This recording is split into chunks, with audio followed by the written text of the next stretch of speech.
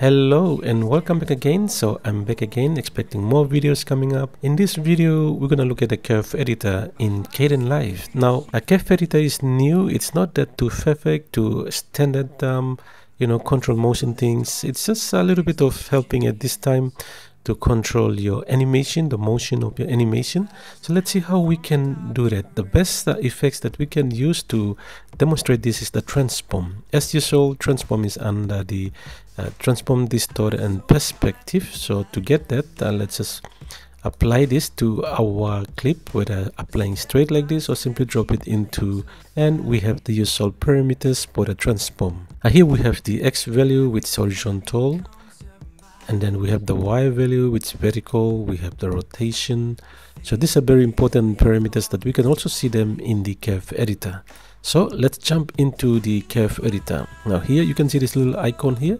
It shows the switch to curve editor view. So let's switch to that and you can see same thing x y position and then we have the width height opacity and the rotation now it's the same thing again. We, we add a keyframe here and we in the x position and moving this up and down you can see moving along the horizontal lines. And then if we go to y position and if we move this up and down you can see that we are moving up and down vertically. And similar things apply to the uh, width and height and then we have the height and the rotation. So same things principle apply just as when you use the normal transform without the curve editor. Okay so it's in uh, its original position again.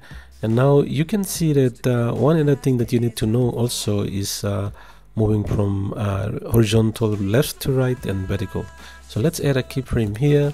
And if we move up like this you can see we are moving towards the right side.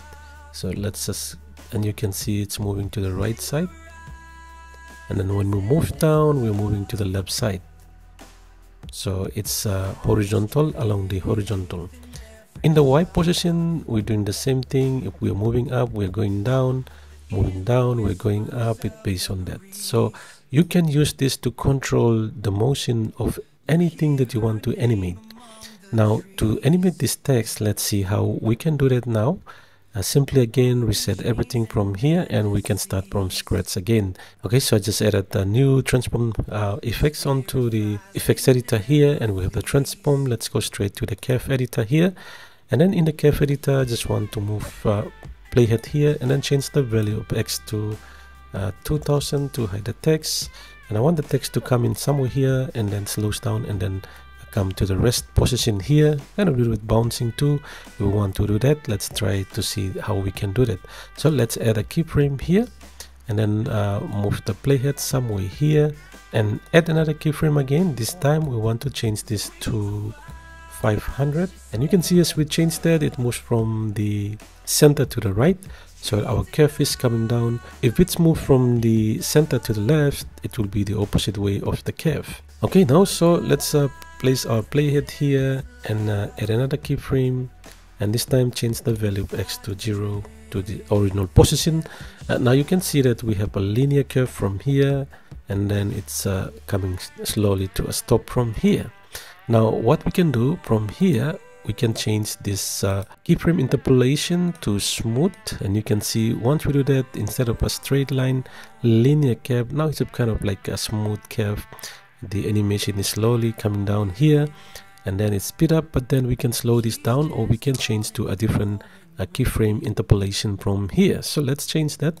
Uh, let's go to um, bounce in and you can see a little jig jig line here kind of like a bouncing in and coming to a stop. Okay so that's how we can use the curve editor from here.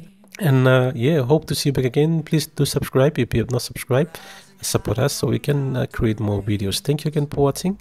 I'll see you back again in another video.